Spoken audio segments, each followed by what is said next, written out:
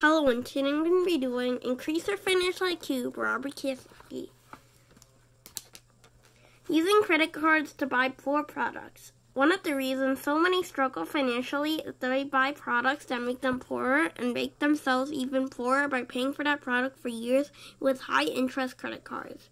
For example, if I buy a pair of shoes with a credit card and take the and take years to pay off the credit card bill, I remain poor for years to come by continuing to pay for a product that made me poorer, not richer. Poor people buy products that keep them poor and take years to pay for those products, while incurring high interest changes. If you want to be rich, become a customer of businesses that are dedicated to making you richer.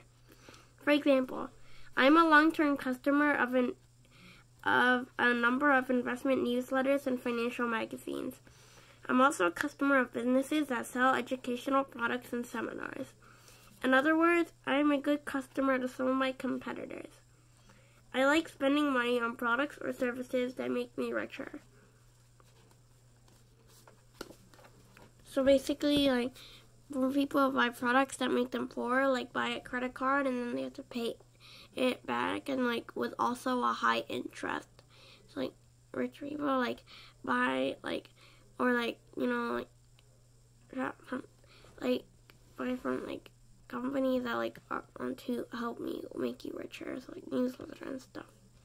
Okay, hope you like that. If you did, please like and subscribe. Bye.